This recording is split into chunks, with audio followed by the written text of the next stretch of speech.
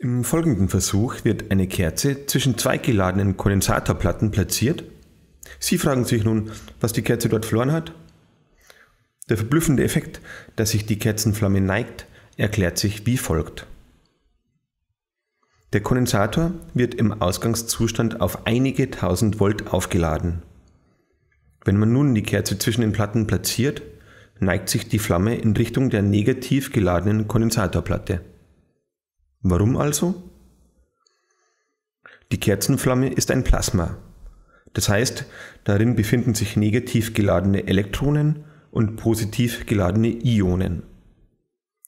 Die frei beweglichen Elektronen werden sofort zur positiv geladenen Plattenseite abgesaugt. Die Kerzenflamme besteht dann aber nur mehr aus positiv geladenen Ionen, die dann zur negativ geladenen Plattenseite gezogen werden. Sie sehen also, nicht nur durch Luftverwirbelungen bringt man eine Kerzenflamme in Bewegung, sondern auch durch elektrische Feldstärke.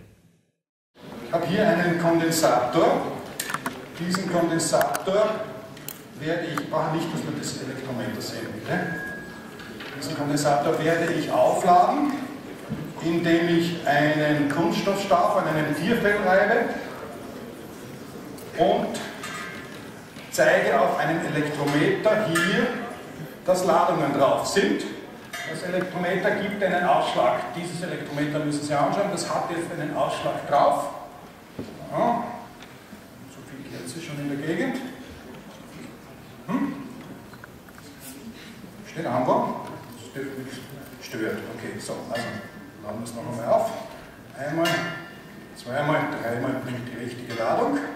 So, jetzt ist er schön aufgeladen, der Kondensator. Jetzt stelle ich die Kerze hinein und die Kerze ist ein Plasma und schwupps sind die ganzen Ladungen schon weg. Also ich habe hier drinnen die Luft jetzt leitfähig gemacht. Und jetzt stelle ich die Kerze hier hinein und schalte das Ganze um. Und zwar gehe ich jetzt auf einen Van der Graaf, äh, äh, nicht auf einen Van der Graaf, sondern auf eine Influenzmaschine.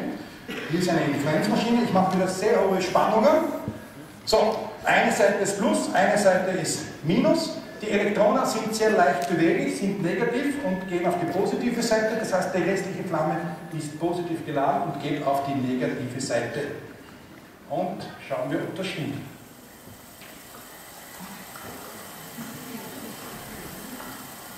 Okay, sie ist nach rechts gegangen und der Kondensator ist entladen. Passt.